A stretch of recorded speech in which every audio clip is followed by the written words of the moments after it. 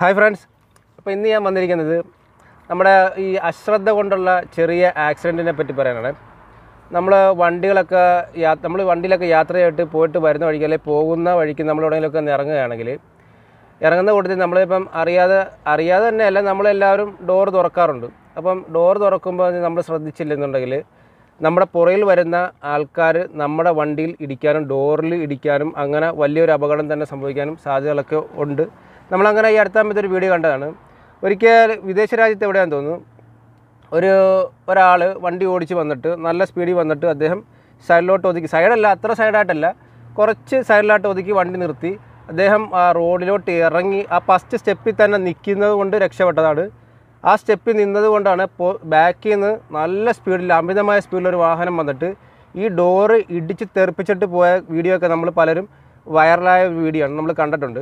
എന്ന് പറഞ്ഞുള്ള ഞാനിപ്പം ഇവിടെ ചെയ്യാൻ വെച്ചാൽ നമ്മൾ ഡോർ തുറക്കുന്ന സമയത്ത് രാത്രി കാലങ്ങളിൽ നമുക്ക് ഉപകാരപ്പെടും. പകലതിന്റെ ആവശ്യം വരില്ല കാണാനൊക്കെ പറ്റും. പക്ഷേ ഈ വീഡിയോയിൽ ഈ ആക്സിഡന്റ് ആയിരുന്ന പകലാണ്. അപ്പോൾ ഞാനിപ്പോൾ ചെയ്യാൻ വെച്ചാൽ നമ്മുടെ ഒരു വാഹനത്തിൽ നമ്മുടെ നാട്ടിലൊക്കെ നല്ല ഉപകാരപ്പെടുന്നതാണ്.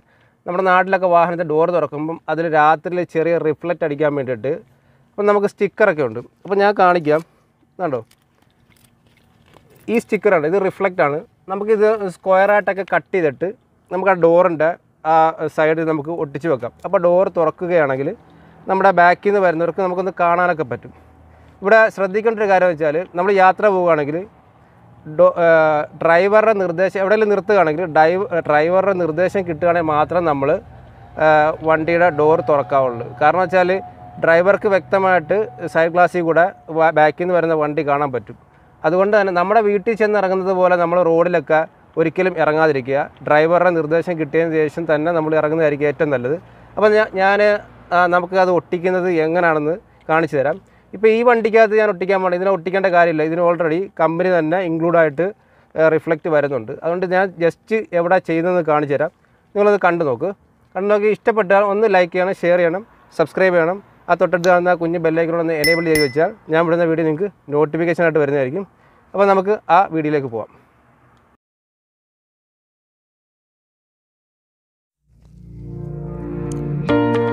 നമുക്കത് വാങ്ങിക്കാനായിട്ട് മൂന്ന് കളറിൽ അവൈലബിൾ ആണ്. റെഡ് യെല്ലോ വൈറ്റ് എന്റെ കയ്യിലുള്ളപ്പോൾ ബ്ലാക്ക് ആൻഡ് യെല്ലോ കളറാണ് ഞാനിതിൽ യെല്ലോ എടുത്തിട്ട് ബ്ലാക്ക് ഒഴിവാണ് നമുക്ക് ഏത് ആകൃതിയിലാണ് വേണ്ടത്? ആ ആകൃതിയിൽ നമുക്ക് ഇഷ്ടമുള്ള ആകൃതി സ്ക്വയറോ റൗണ്ടോ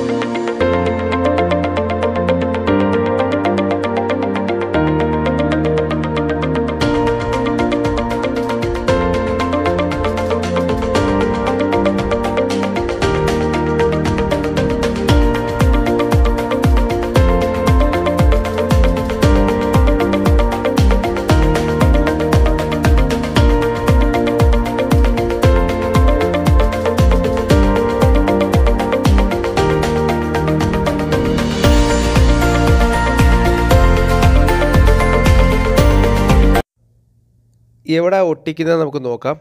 ഞാൻ കാണിച്ചു തരാം.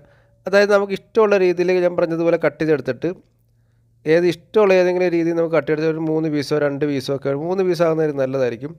ആ ഈ ഭാഗത്ത് ഒട്ടിച്ചു നമുക്ക് ഇഷ്ടമുള്ള ഭാഗത്ത് ഒട്ടിച്ചു കൊടുത്താൽ മതി. അപ്പോൾ ഇത്രയേ ഉള്ളൂ ഈ വീഡിയോയുടെ ഉദ്ദേശം. അപ്പം നമുക്ക് അടുത്ത ഒരു പുതിയൊരു വീഡിയോ ആയിട്ട് നമുക്ക് കാണാം. Okay bye